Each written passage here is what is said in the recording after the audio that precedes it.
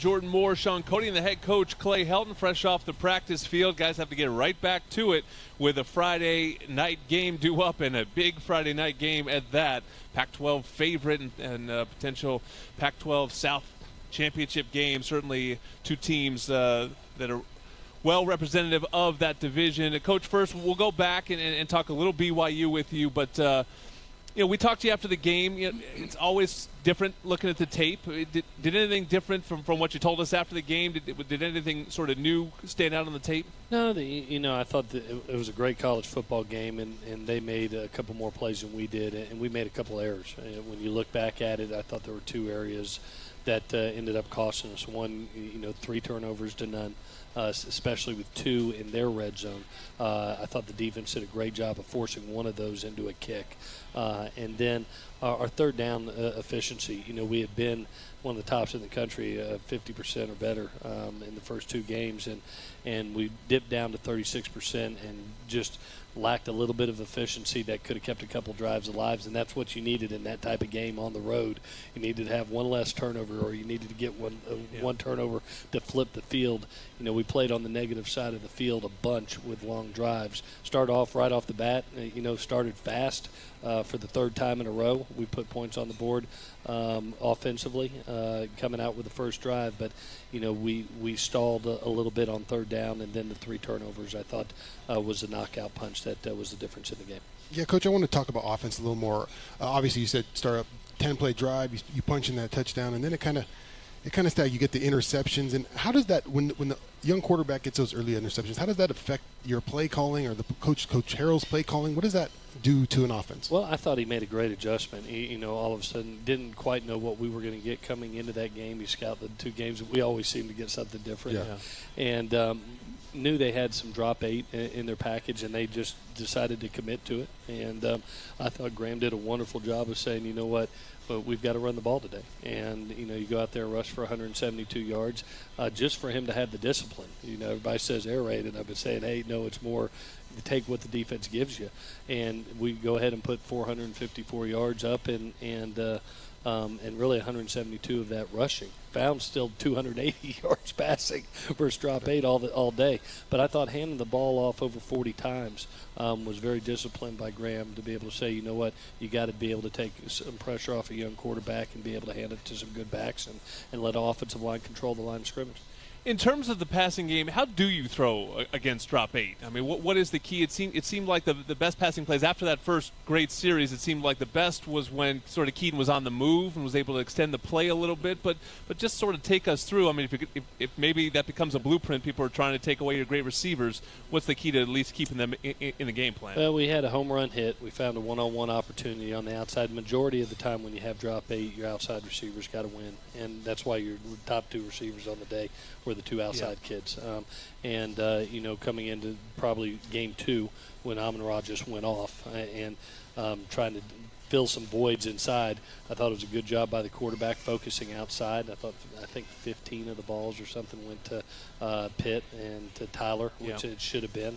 Um, and then he created some. He, you know, he didn't force things. Uh, he, he, decided to scramble some. Found the tight end for a big play uh, in, in, that, and found some open voids. Um, and then um, you know we had the last pass that. Uh, in overtime, where the where he, he kind of guessed a little bit, uh, as a young kid, didn't go through his pro- normal progression and and uh, had the right play at the right time. Um, just picked the wrong guy. Coach, how do you make adjustments in game? You know, you had a you had a center that was struggling up front with the nose tackle, and he's kind of making him a ton of plays. What's the in-game adjustment to those kind of? Well, I know Brett was giving it all out there, but sometimes you got a guy who just kind of physically kind of taking it to you a little bit. What are those adjustments you can make on that offensive line? Yeah, you know, one of the things I thought Drev did a nice job of once he saw that was going to a little bit more slide, um, a little slide protection where uh, either guard can come down and help the center. And Brett did a good job. I mean, he, he had two 300 plus pound guys on him uh, the majority of the day in that in that three man scheme. And for the most part, I thought he won the battles. And uh, but it was a fist fight. And I thought one of the good adjustments that Drev made was, hey, you know what? When we get the opportunity, when we see rotation, to be able to slide to it, uh, does help the mm-hmm. give a sideboard for that center. Going forward, did, did Markese Steps show you enough to carve out a, a, regular role in this offense, or is three mouths too many to Jordan Moore, Shaun Cody, and the head coach Clay Helton fresh off the practice field? Guys have to get right back to it with a Friday night game due up and a big Friday night game at that. Pac 12 favorite and, and uh, potential Pac 12 South championship game. Certainly, two teams uh, that are well representative of that division. Coach, first we'll go back and, and, talk a little BYU with you, but uh, you know we talked to you after the game. You know, it's always different looking at the tape. Did, did, anything different from, from what you told us after the game? Did, did anything sort of new stand out on the tape? No, the, you know I thought it, was a great college football game, and, and they made a couple more plays than we did, and we made a couple errors. When you look back at it, I thought there were two areas that uh, ended up costing us. One, you know, three turnovers to none uh, especially with two in their red zone. Uh, I thought the defense did a great job of forcing one of those into a kick.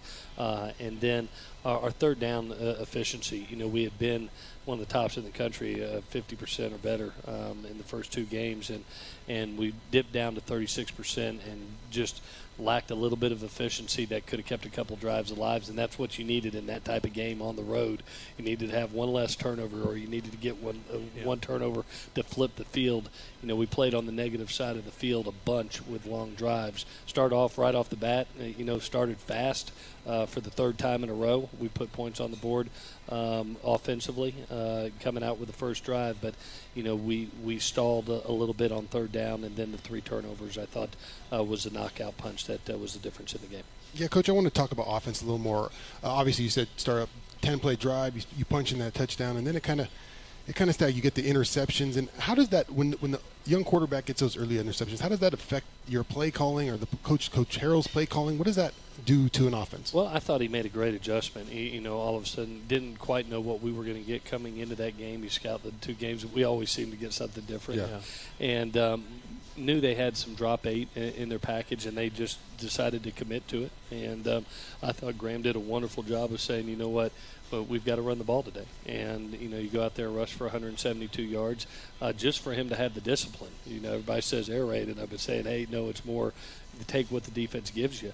And we go ahead and put 454 yards up, and and uh, um, and really 172 of that rushing. Found still 280 yards passing versus drop eight all the, all day. But I thought handing the ball off over 40 times um, was very disciplined by Graham to be able to say, you know what, you got to be able to take some pressure off a young quarterback and be able to hand it to some good backs and, and let offensive line control the line of scrimmage in terms of the passing game, how do you throw against drop eight? I mean, what, what is the key? It seemed it seemed like the the best passing plays after that first great series. It seemed like the best was when sort of Kedon was on the move and was able to extend the play a little bit. But but just sort of take us through. I mean, if, could, if, if maybe that becomes a blueprint, people are trying to take away your great receivers.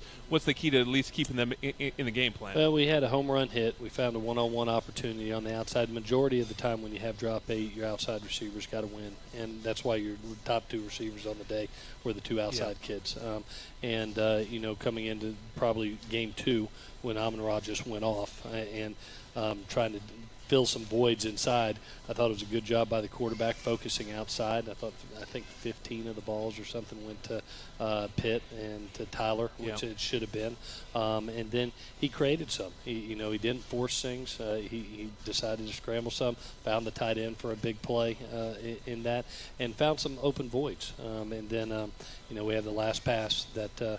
Uh, in overtime, where the where he, he kind of guessed a little bit, uh, as a young kid, didn't go through his pro- normal progression and and uh, had the right play at the right time. Um, just picked the wrong guy. Coach, how do you make adjustments in game? You know, you had a you had a center that was struggling up front with the nose tackle, and he's kind of making a ton of plays. What's the in-game adjustment to those kind of? Well, I know Brett was giving it all out there, but sometimes you got a guy who just kind of physically kind of taking it to you a little bit. What are those adjustments you can make on that offensive line? Yeah, you know, one of the things I thought Drev did a nice job of once he saw that was going to a little bit more slide, um, with little slide protection where uh, either guard can come down and help the center. And Brett did a good job. I mean, he, he had two 300 plus pound guys on him uh, the majority of the day in that in that three man scheme. And for the most part, I thought he won the battles. And uh, but it was a fist fight. And I thought one of the good adjustments that Drev made was, hey, you know what? When we get the opportunity, when we see rotation, to be able to slide to it, uh, does help to mm-hmm. give a sideboard for that center. Going forward, did, did Markese Steps show you enough to carve out a, a regular role in this offense, or is three mouths too many to Um, I thought one they had great red zone defense to start off. You talk about seven times in, in the red zone and only two touchdowns.